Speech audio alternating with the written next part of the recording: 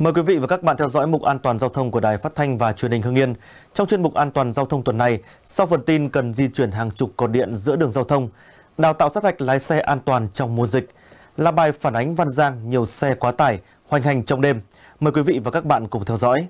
Thưa quý vị và các bạn, đầu tư cải tạo mở rộng đường giao thông nông thôn là việc làm hết sức cần thiết tạo điều kiện thuận lợi để người dân đi lại, giao thương, phát triển kinh tế. Trong đó có khu phố Đinh Tiên Hoàng, thôn An Triều 2, xã Liên Phương, thành phố Hưng Yên. Hơn 10 cây cột điện nằm trên lòng đường dân sinh do đơn vị thi công không tiến hành di chuyển, làm cản trở và gây mất an toàn giao thông mỹ quan đô thị.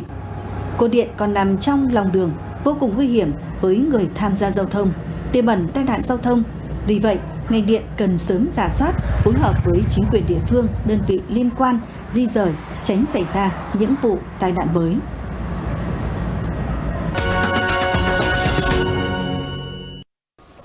Để đáp ứng nhu cầu sát hạch cấp giấy phép lái xe cho người dân, ngay khi các cơ sở được hoạt động trở lại, Sở Giao thông Vận tải yêu cầu các cơ sở đào tạo, trung tâm sát hạch lái xe xây dựng kế hoạch đào tạo đảm bảo các yêu cầu khắt khe về phòng chống dịch. Theo đó, các trung tâm phải bố trí nhân viên kiểm tra thân nhiệt, yêu cầu học viên thực hiện nghiêm khuyến cáo 5K của Bộ Y tế, nơi dự thi sát hạch, thí sinh ngồi giãn cách tối thiểu 1 mét, các học viên vào dự thi phải khai báo y tế có giấy xét nghiệm test nhanh COVID-19. Việc phân chia học viên đến dự thi và các khung giờ khác nhau, đảm bảo giãn cách trong và ngoài phạm vi trung tâm.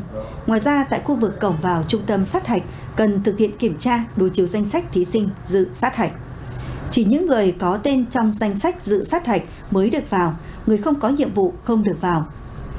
Khóa thi ngày 13 tháng 11, Trung tâm Đào tạo Hương Yên có trên 300 học viên dự thi sát hạch lái xe hạng A1 Trước đó, Hưng Yên đã phải tạm dừng tổ chức các kỳ sát hạch cấp giấy phép lái xe cơ giới đường bộ để phòng dịch COVID-19 từ tháng 4 năm 2021.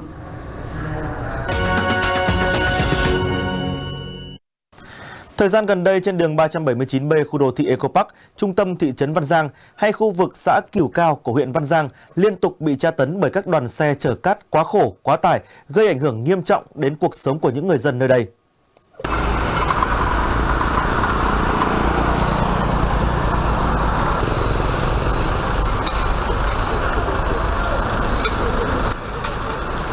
Khoảng 21 giờ ngày 9 tháng 11, lượng xe tải chạy theo nhiều hướng từ Hà Nội qua khu đô thị Eco Park, từ hướng đê sông Hồng qua đường tỉnh 379B, đường tỉnh 382B, trung tâm thị trấn Văn Giang lần lượt vào công trường thi công dự án Vinhome Văn Giang.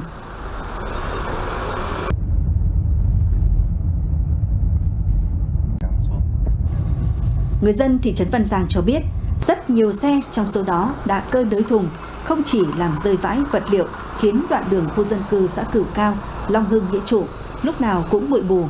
Nhiều xe chở đất cát sỏi đá không che chắn cẩn thận, phần tùng xe nối đuôi nhau chạy trên khu vực sinh sống của hàng nghìn người dân.